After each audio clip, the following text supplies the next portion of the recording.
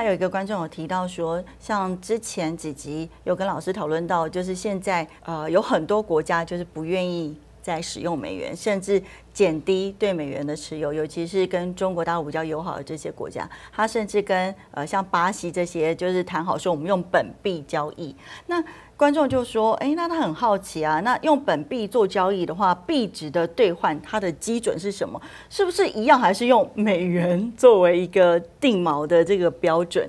然后他说：“例如说，像中国向巴西买了十万里奥的货品，那人民币要用多少来支付这个款项？”或者是说要支付多少人民币给巴西？目前价值兑换的标准如果还是以美元做基准，那未来世界各国如果用本国币做交易的话，呃，美元的流动性变差，国际市场对于美元的需求就会下降，所以美元就会贬值嘛。那相对于就会影响到美国在国际货币之间这个美元它定锚的标准，那到时候是不会造成国际贸易的混乱呢？这个观众是问了一个非常高明的问题。其实，现在发生这个本币交易最我们说规模最大的是中国大陆跟俄罗斯。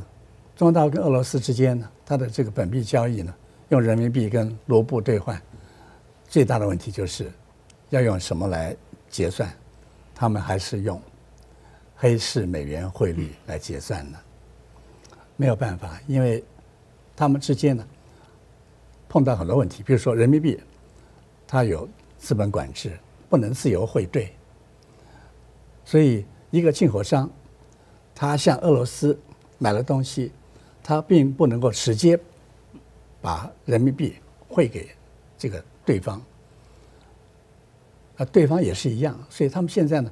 中间欠缺一个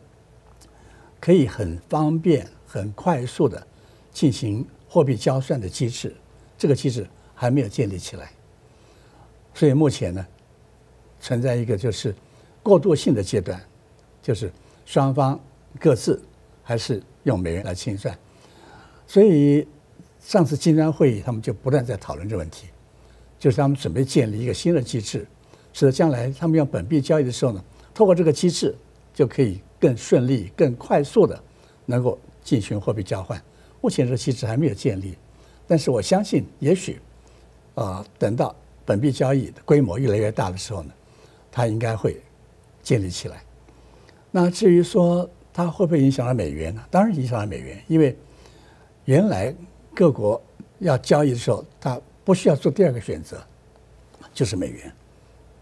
现在假定呢，像中国大陆、像俄罗斯，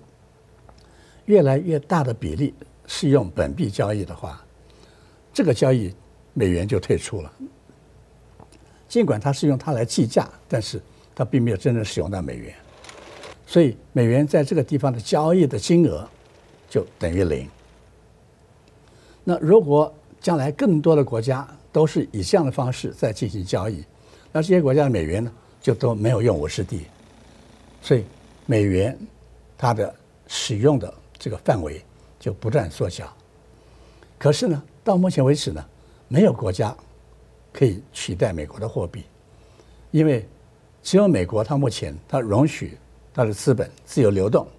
自由汇兑，而且自由的浮动。其他国家不敢这样做，即使敢，可是呢，这他在全世界的一般交易者的心目中，他的信心没有那么强大。As you know, the U.S. has foreign adversaries, particularly the CCP, that seem intent on de-dollarization. How seriously should the threat of de-dollarization be taken, in your view? The status of the United States, of the dollar as the world's reserve currency is a very important thing to us. I think uh, the reason we have that status is largely due to our great democratic institutions, the rule of law, and the fact that we, we have, um, generally speaking, had, had strong levels of price stability. And I think that the dollar will remain the, the reserve currency as long as those things are in place. 所以现在欧盟大概逐渐接近这个角色了，可是欧盟到底还不是一个国家，所以美元在短期内呢，它还是国际储备货币的主要的这个啊这个货币，它还是主要的交易媒介，还是主要的计价单位，这个是不会改变。 可是现在呢，中国大陆在尝试人民币国际化的时候呢，它在侵入到一个非常重要的一个场域，就是石油。因为当初尼克森把美元跟黄金脱钩之后呢，他靠着石油以美元定价，用这个来为美元定锚。但是呢，今天呢，中国大陆已经开始跟沙特阿拉伯在讨论，将来它的石油的购买要用人民币，而不是用美元。所以，如果这些产油国家呢，逐渐都愿意把一定比例的交易用人民币来结算的话，那美元过去石油美元这个地锚价值呢，可能就慢慢就动摇了。所以，美元的确呢，它的地位呢是慢慢在往下降当中，这是毫无疑问的事情。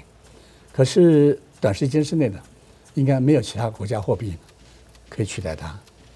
老师，可是未来石油会变得越来越不重要，尤其是二零三五年开始，就是新的车不能再是燃油车，所以其实未来你跟石油挂钩也没有什么。也就是因为这样，所以沙特阿拉伯他愿意用呃石油跟人民币交换，就不像过去的石油美元那么受重视了。嗯，所以其实要改变真的还是蛮困难的。可是这个改变已经开始了。正在进行当中，所以我们不能忽视这个力量，因为用啊本币交易的很多的好处显现了，而用美元的很多坏处也显现了，所以我相信呢，如果本币交易将来的交换机制建立的非常好的话，我相信到时候呢，美元地位会大幅降低。老师，可是纵使是例如说中国大陆跟很多的国家，他们成立一个新的结算的机制，可是。呃，就像这个观众说了，那我要拿多少钱跟你兑换多少钱，我还是要用一个基准，我还是要用美元作为基准，所以这就是这个结算机制的重要任务了。它必须要能够计算出来，就是每一天它的交易量、供给需求，然后均衡价格在哪里？这其实有一点难计算，因为我怎么知道我的币值跟你的币值相对而言是多少？我不可能去，而且这其实背后。呃，牵涉了很多的因素，可能就是你的进出口的数额，我的进出口数额，然后我的货币价值在哪？这其实很难有个基准，它还是必须拿一个就是世界主要的这个货币。问题就是今天美元又是如何决定它的价值呢？美元的背后是有很多的货币组成的。对，那是它是用那几个货币嗯的加权平均值来决定美元价值。但这个是不是一个最合理的市场的均衡价格呢？所以老师，如果有个方式，例如说人民币它的均衡价格，它就一样。例如说，我对美国的呃进出口贸易假设是百分之二十，我就把美元当百分之二十。我的欧元是多少？哎，也百分之二十。就像美元现在背后的那些组成一样，它如果样组成，然后计算出一个就是同样的公式，的确是可以利用。但是，呃，有没有什么重大意义呢？因为如果要舍弃美元这个做基准的话，然后例如说巴西币或者是俄罗斯的卢布，它也是用这样子，因为他们跟每个国家的贸易额不一样，比例也不一样，那说不定对，就等于是我用其他国家的它的均衡的汇率来加权平均变成我的汇率，这当然也是一个替代的办法。就是美国是用这个方法，别的国家为什么不可以用？或许他们自己也会研讨说有一个方法出来。如果真的这样子的东西成型的时候，美元它就会被更弱化。对，我们可以好好想想这样的问题。嗯，我觉得这个观众提这个问题很有意思。很有意思，对。